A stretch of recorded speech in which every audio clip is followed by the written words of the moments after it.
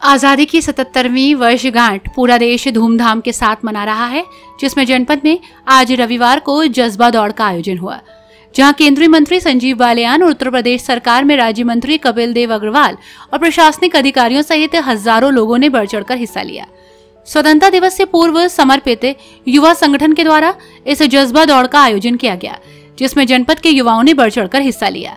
इस दौरान केंद्रीय और राज्य दोनों मंत्रियों ने युवाओं के साथ खूब दौड़ लगाई।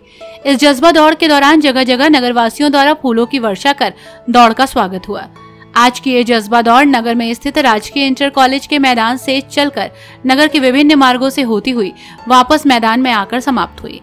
इस दौरान मीडिया से बात करते हुए जहाँ केंद्रीय राज्य मंत्री संजीव बालियान ने कहा कि तीन वर्ष से समर्पित युवा संगठन द्वारा जज्बा दौड़ का आयोजन स्वतंत्रता दिवस के आसपास किया जाता है। इसमें बड़ी संख्या में पूरे शहर एवं जनपद के युवा भाग लेते हैं। एक अलग से देशभक्ति का माहौल रहता है। समर्पित युवा संगठन हमेशा सामाजिक कार्यों में आगे रहता है। पिछले कई सालों से लगातार इस संगठन के द्वारा इस दौड़ में भाग लिया जा रहा है। देखिए पिछले कई वर्ष से समर्पित युवा संगठन के द्वारा जज्बा दौड़ का आयोजन स्वतंत्रता दिवस के आसपास किया जाता है। और इसमें बड़ी संख्या में पूरे शहर के युवा भाग लेते हैं, शहर का जनपद के युवा। और एक अलग से देशभक्ति का माहौल रहता है।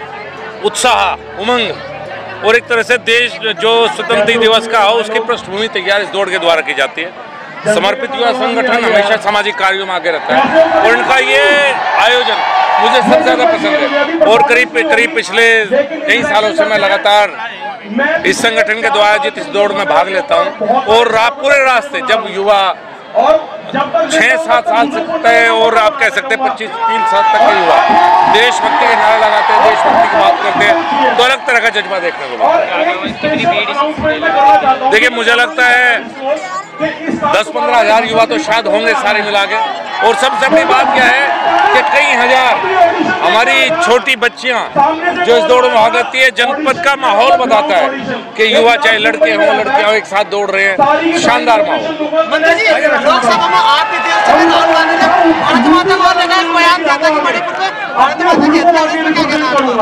यही कहूँगा कि वो कुछ कहते रहे। यहाँ तो युवा भारत माता की जय बोलेगा। वहीं स्वतंत्र प्रभार राज्य मंत्री कपिल देव अग्रवाल ने कहा कि जज्बा दौड़ मुजफ्फरनगर की सामाजिक संस्था समर्पित युवाओं के द्वारा आयोजित की जाती है।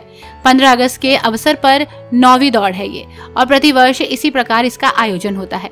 हज़ारों की संख्या में बेटियाँ, बच्चे, नौजवान, बुज़ुर्ग, महिलाएँ और पुरुष इसमें दौड़ते हैं। इसमें राष्ट्रभक्ति का जज्बा कायम होता है। हमारे प्रधानमंत्री ने इस बार मेरी माटी मेरा देश का आह्वान किया है, जिसमें गाँव से लेकर शहरों तक हर तरफ़ स्वतंत्रता दिवस आयोजित हो रहा है। साथ ही शहीदों को नमन किया जाएगा और उनका स्मृति गाँव के अंदर लगाया जाएगा। उन्होंने कहा कि मुजफ्फरनगर में हज़ारों की संख्या में लगातार बच्चे और बेटियाँ भारत माता की जय बोल रहे हैं और वंदे मातरम बोल रहे हैं।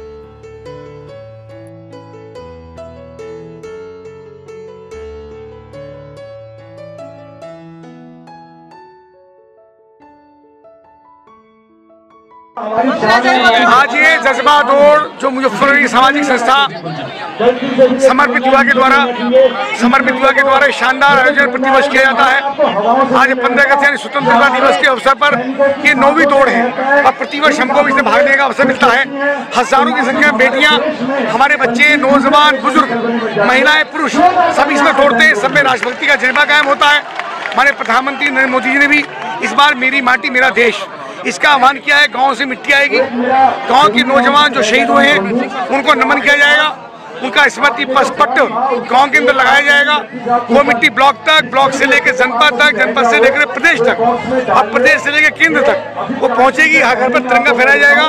बहुत शानदार आयोजन है, तीन दिन का विशेष आयोजन है, तेरह, चौदह, पंद्रह। सभी घरों पर तिरंगा लगे, ये मैं आह्वान भी करता हूँ, सभी से निवेदन भी करता हूँ, और राष्ट्रीय पर्व की सभी को शुभकामनाएँ।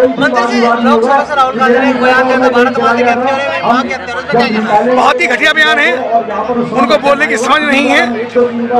ये वे लोग हैं जिनकी कांग्रेस के समय में देश का विभाजन हुआ। अभी चौदह तारीख को हम देश की विभाजन बीसी का बना रहे हैं। तो ये लोगों को तो ये हमेशा ध्यान है।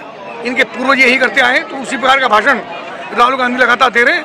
पर आप देखिए, मुजफ्फरनगर में हज़ारों की संख्या में नौजवान, बच्चे, बेटियाँ, भारत माता की जय बोल रहे वंदे मातरम बोल रहे मैं सभी को बधाई देता हूँ। हर न्यूज़ अपडेट के लिए डिस्क्रिप्शन बॉक्स में दिए हुए लिंक से ज्वाइन करें। रॉयल बुलेटिन का व्हाट्सएप ग्रुप और पाए हर खबर सबसे पहले अपने व्हाट्सएप पर। अपने आसपास की खबरों के लिए सब्सक्राइब करें रॉयल बुलेटिन और इस वीडियो पर कमेंट के ज़रिए अपनी राय देना ना भूलें।